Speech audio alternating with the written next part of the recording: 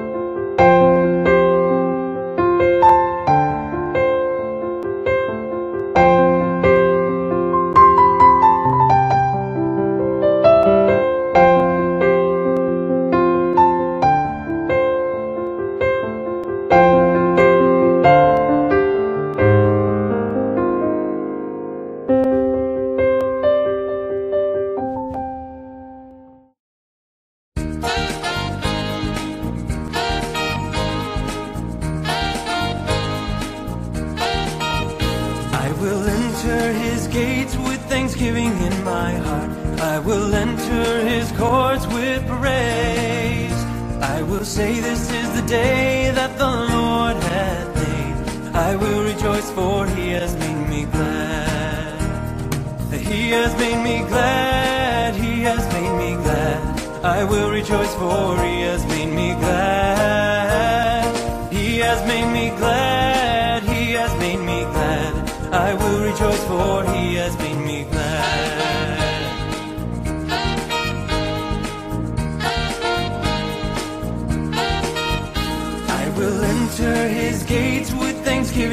My heart. I will enter his courts with praise. I will say this is the day that the Lord hath made. I will rejoice for he has made me glad. He has made me glad, he has made me glad. I will rejoice for he has made me glad. He has made me glad, he has made me glad. I will rejoice for he has made me glad.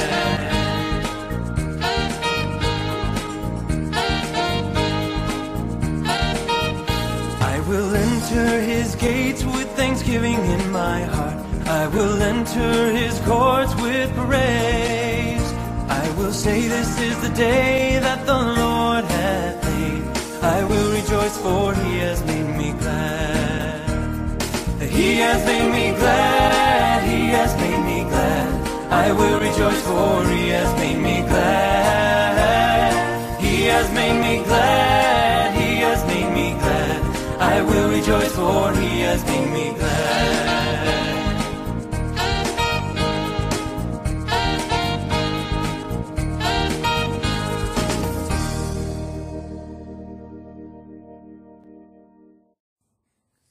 Last week, we were thinking about building.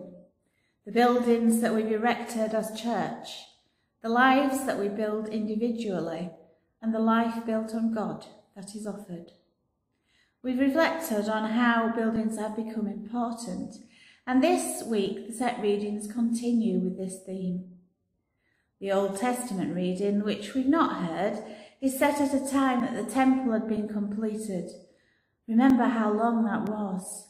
We're told that there was a cloud hanging there, God's presence.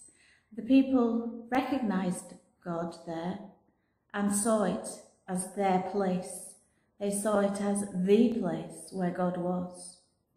The question for us that we have to consider now is what is legitimate and wholesome about our need and love for special sacred places?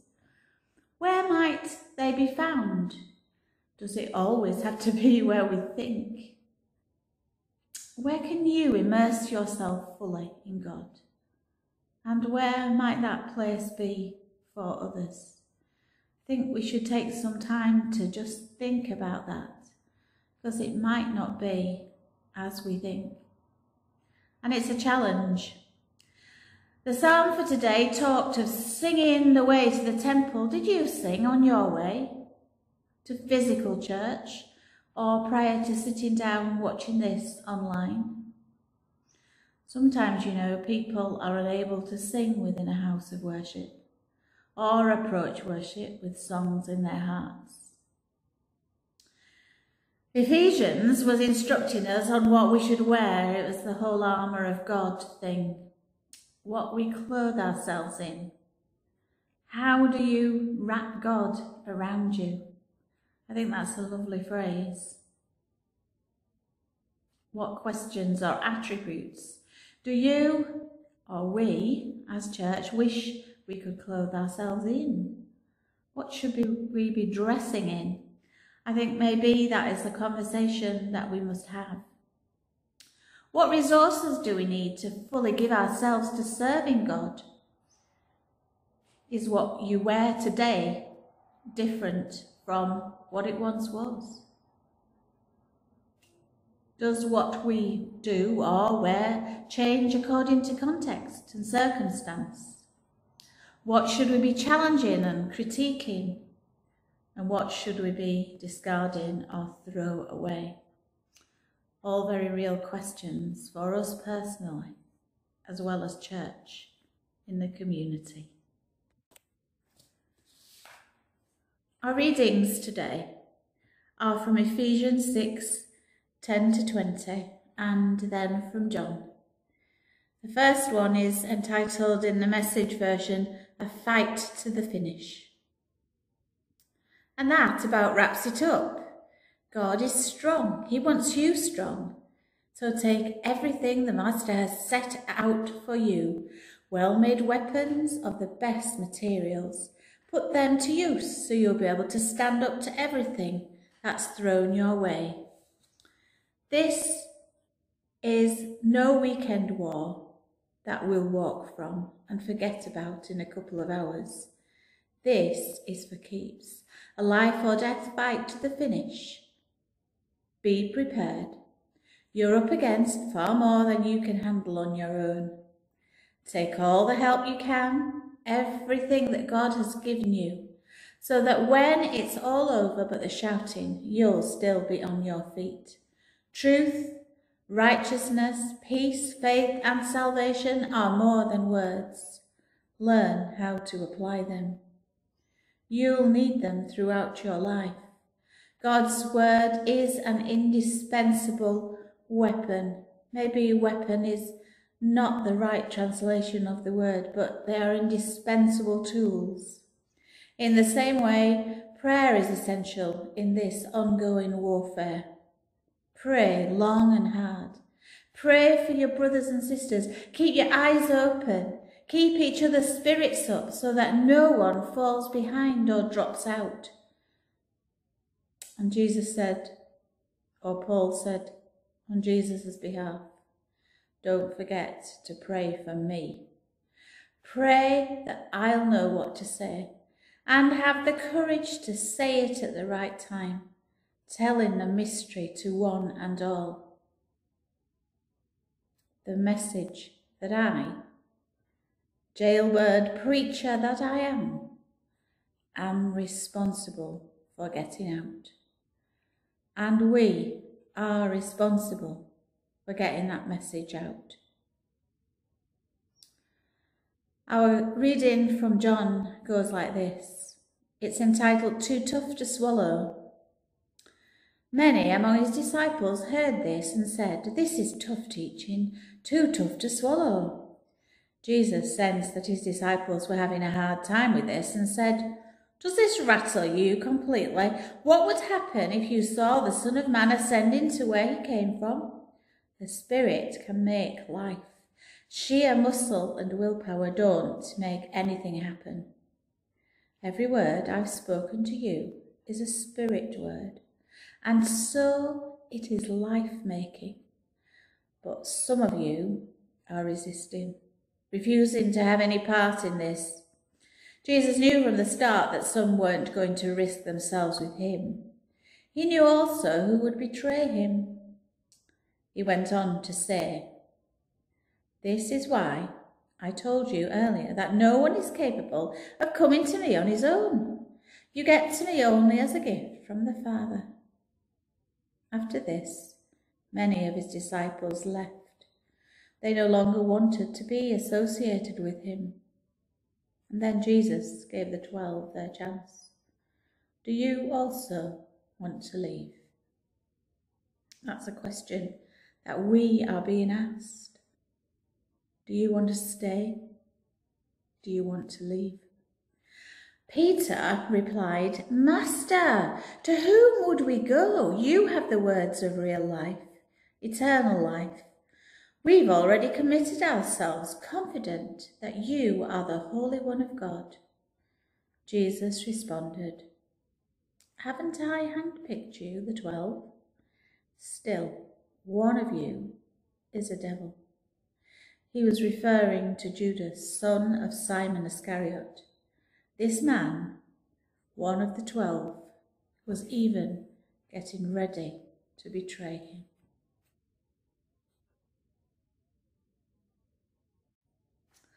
So there's lots of challenges for us again. Um, some people have been saying I've been giving too many, um, but that's what my job is. That's what I'm meant to do. Um, the gospel reading from John that we've heard today gets to the real heart of things. And to me, it's got a very clear message, actually. And it's a simple one, but it is a challenging one again because it is what really matters above everything else is actually our devotion to God.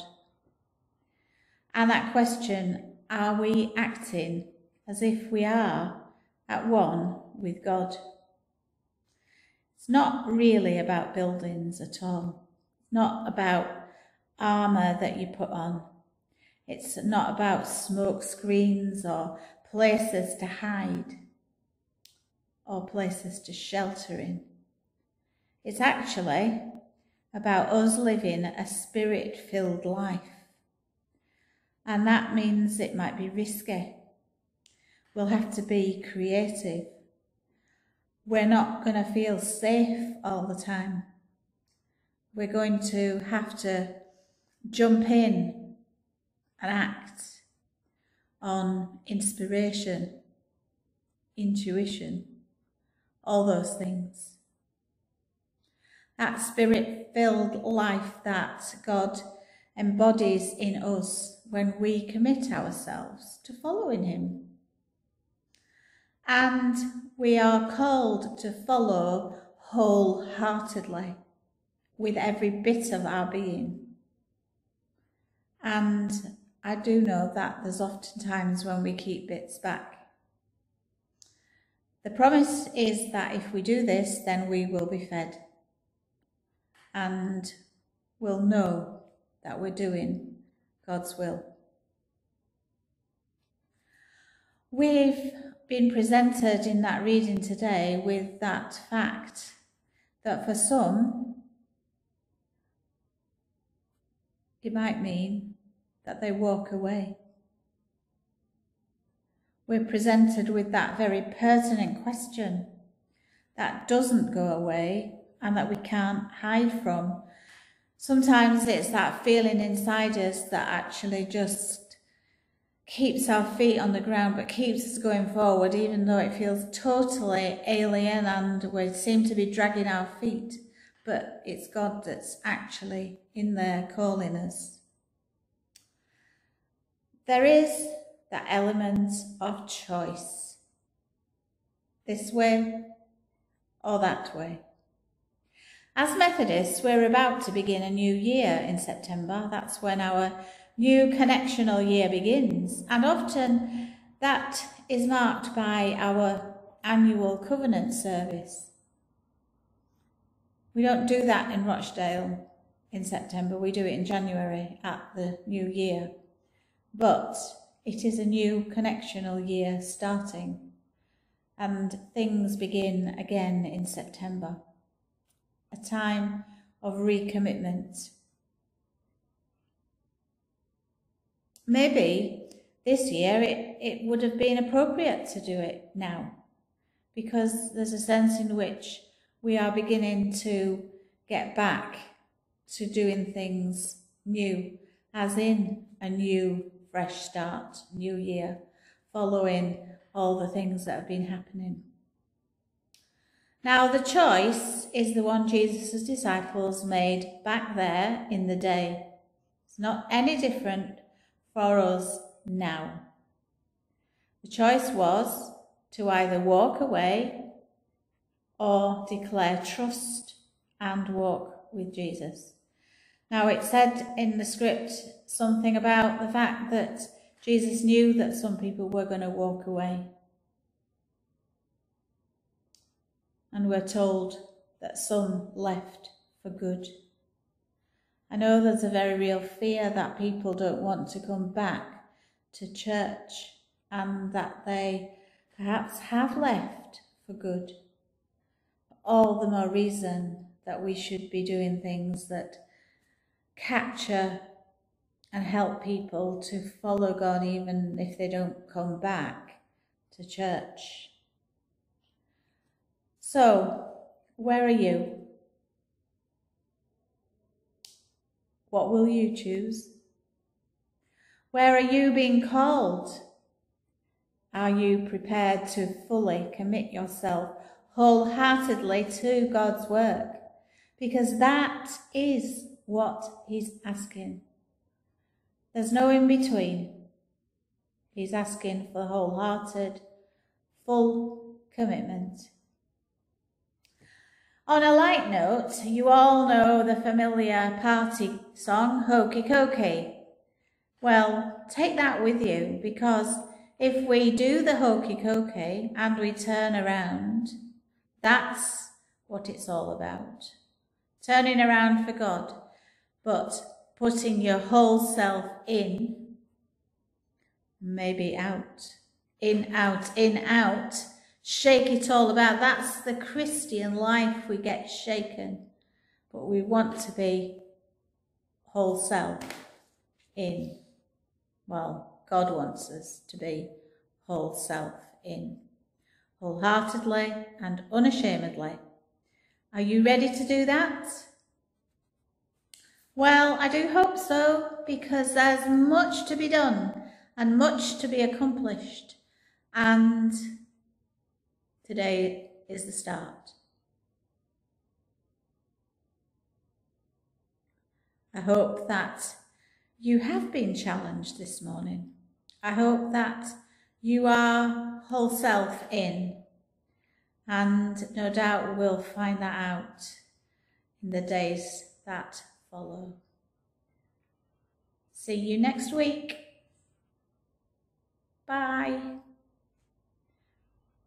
We're going to listen to um, a song that actually helps us to say yes.